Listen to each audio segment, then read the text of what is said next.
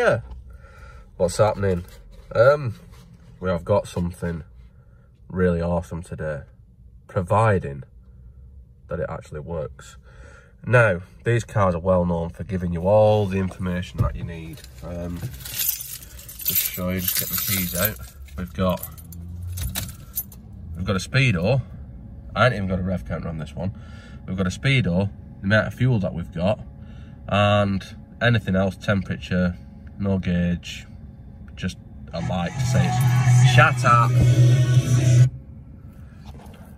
Just a light to say that it's too hot. So, you know, no real gauge or anything like that. Anyway, so what I've got is I've got a cheap and easy method to get around this, which is a head-up display. And it plugs into the OBD port, which should have the relevant information available to it. And then you place it on the dash and it shines in your eyes when you're driving. So let's try it. So let's see what's in the box first. We have got an OBD2 connector, which is going to come in useful for plugging it in. Then we have a display that is backwards because obviously you're looking at the reflection of it in the, well, in the windscreen. And then we've got something to stick it down with and for a change we've got some instruction manual. Uh, see if it's in English or Chinglish. Hmm, actually, you can read it. Anyway, we'll see if we need that later when it doesn't work. But first, let's plug it in. So first, we'll plug that in, which goes in our OBD port, which is just above your clutch pedal. Uh, sorry for sounding a little bit blocked up today because I am dying of man flu. Not COVID, just man flu this time. Alright, so we've got a, we've got our lead, and then we need to bring that up somewhere really neatly and then plug it in set that out and don't know what any of that does yet but let's plug it in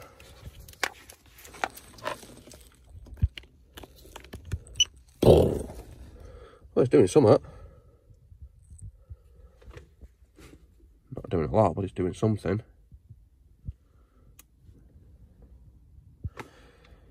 Right, let's turn the car on.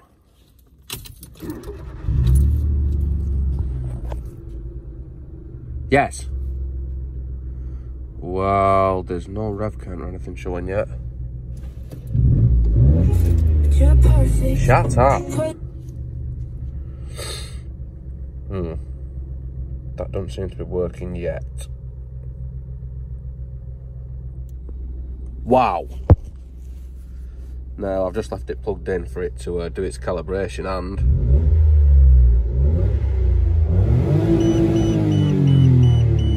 yes, tell me to change gear. That is awesome. Anyway, let's stick it on the dashboard and see if it actually shows us anything. Because it's all, well, it's backwards at the moment, obviously. And it's supposed to reflect, as I've said. But look, we've got a temperature gauge same up at 80 degrees. We've got voltage, we've got a rev count, we've got a speedo, which is in kilometres an hour, which needs changing. I don't know how to change that. Let's go through the manual and see if we can change some stuff and make it actually so it's set up right first. Right, so a bit of messing about now because if you read this, instrument cluster has an offset value. Mean, like value displayed, blah, blah, blah, blah. Now, I ain't got a rev count to compare it to, but these rev limit are supposedly 6,500, so I'm told. So, that's saying it's more than 6,500. So that's not right. So I need to mess with the offsets on the rev counter and some other stuff and try and get it into miles an hour and then we've got something to start from. Right, so now with a bit of dicking about, the red line, or the rev limiter, is now saying it's the right revs.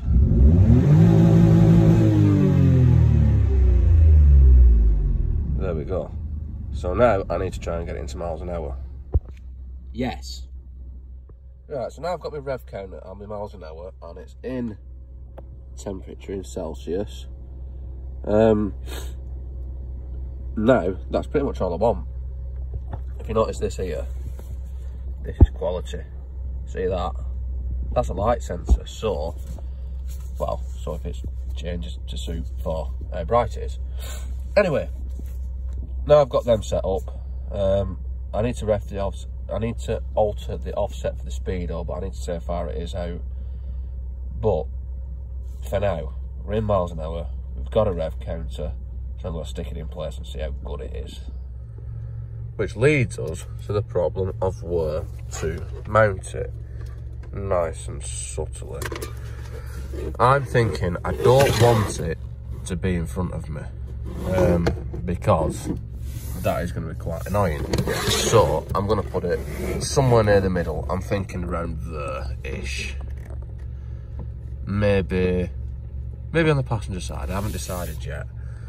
But I need to subtly sort of fix this wire out the way because this this wire I think is about five foot longish so let's see what I can do with that so first I hope it don't lose all its settings, which it probably will.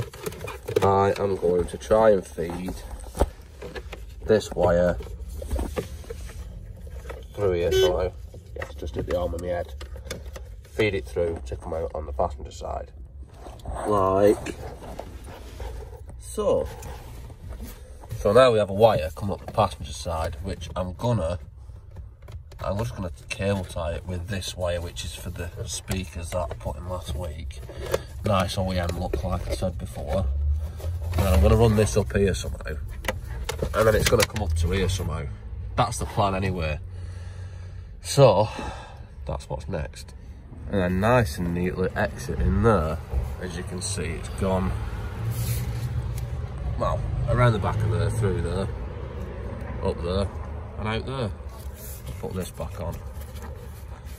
And the idea is, I'm going to put it on this airbag, so when I have a crash, I get an imprint of that in my passenger's forehead. There we go. Perfect. Now it's somewhere near where we want it, so I'll plug it back in. Right, now it's plugged in. And it'll shine on the passenger side of the screen, ideally but let's see if it actually still works, if it's remembered its settings or if it's fucked up.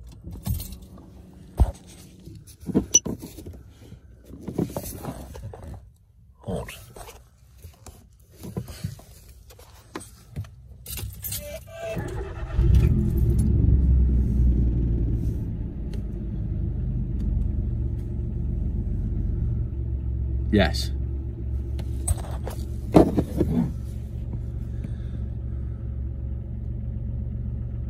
Oh, it seems to have got all its settings. Come on. Right, so it seems to be back in business after a few seconds. So now, we need to put it where we want it. Which is going to be somewhere around there, because that's where the wire leads to. So, we have got this little, well, rubber pad to hold it still. So I'm going to stick that on dashboard. And that's sort of self-explanatory, in it? And then we are left with that. So, stick that on. And voila.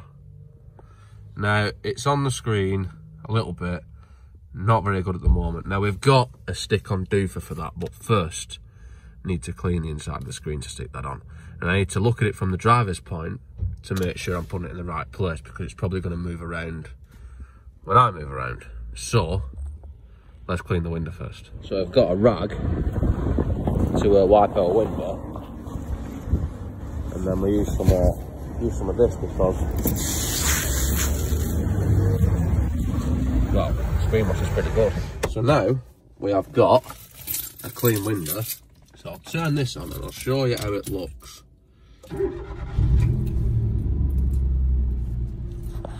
Uh, so we can see that sort of, I mean I can see it, but it's double vision and it's blurry. So we have got that to stick on. So we'll line that up with where it is and then we'll get a better picture. But I'm going to require both of my appendages to do that. So I'm going to stick that on Um, and I'm going to make sure it's in the right place from here, which is where my head is. But that's sort of how it'll look-ish so far. Right, so this is our doofer. Now, before putting it on, what I want to do is you want to put a bit of water on the screen because you want to be able to move it around. And then we'll use a rag as a squeegee. So, I put it somewhere right, somewhere like, and then driver's position it needs to go over a little bit. That's close enough. And then we use our rag. Yes. Well, you, yeah. And then we squeeze all the water out, which isn't going to plan. So now you've got your nice subtle doofer placed on the window. Well, and, and this phone is looking at it from pretty much where my eye line is. And we pull this bit off. And as you can see, it's stuck perfectly. What the fuck? And I can't really see anything. That's perfect. So there we have it. A perfect installation. Um, yeah, I fucked up with the, well, with the film that goes on the window. I know it's all wavy. Um, so, if I hadn't fucked up with that, I'd probably be able to read it quite well. But as it stands, it is pretty blurry. Hopefully, some of the bubbles might work the way out of it when it gets warmed up. But for now, well, let's go and see how it works on the road, really. So, I have ordered a new film for it. So in the meantime, I'll just put up with it like that. Now there is a million and one settings in here to adjust the offset for the speed rate, well for the speed and all sorts of stuff. But for now, we have got, well, 67 degrees Celsius, which you can just about make out. Uh, litres an hour, we're not bothered about. So we've got temperature and we've got a rev counter. That's the main two things because we didn't have them on this car. So, well, let's go and see how close the speedo is and wait for our new well I, am not going to wait for that coming before I drop the video so you'll, you'll just see it like this but if you're looking at a future video then chances are I'll show how it looks in one of them but for now we'll just have to make do with that it doesn't look as bad in real life as it looks when I'm looking at it through the phone screen in real life I can read it quite easily it's just not as clear as it should be whereas looking at it through the phone screen it's pretty much unreadable so let's go and try it. It's probably a little bit out there. Right, so compared to that speedo, this one is under reading a bit. So we're holding the button and then that is for the speed reading. So I think we need to make it turned up a little bit and then save it. So let's see what it reads now. So after a bit of messing about and setting messing with the settings on it, I've got it so it's reading the same as what the speedo's reading, or thereabouts. Now you could mess about with this forever. You could get it so it's reading the same as what a GPS is reading or whatever, and you could have actually made that one a more accurate, well, make the head-up display more accurate speedo than that is. Um, but I say I've just made them so they're the same for now. But anyway, that's pretty much it. We've got a rev counter, we've got a temperature gauge, and we've got speedo, which is all I really wanted. Um, unfortunately, we have put, we have got it where, well, it's all wavy and a bit shit. Um, but we've got a new one of them coming, which will rectify that. But for now, I think that's it. Uh, we have got, well, don't forget to like, comment, subscribe, all that kind of crap. And check out me on Instagram, stupid bloke, stupid videos on scores between it. I'm not sure what my phone is pointing at here because I have just got it not very well wedged. So if this bit has just been filming the um, the roof of the car or something, I do apologise. But I'm not shooting it again. So I'll see you next time. Well, I'm back for a quick encore. Just thought I'd come out and see how it looks at, well, at night. No, it's night time. And the answer is proper sick.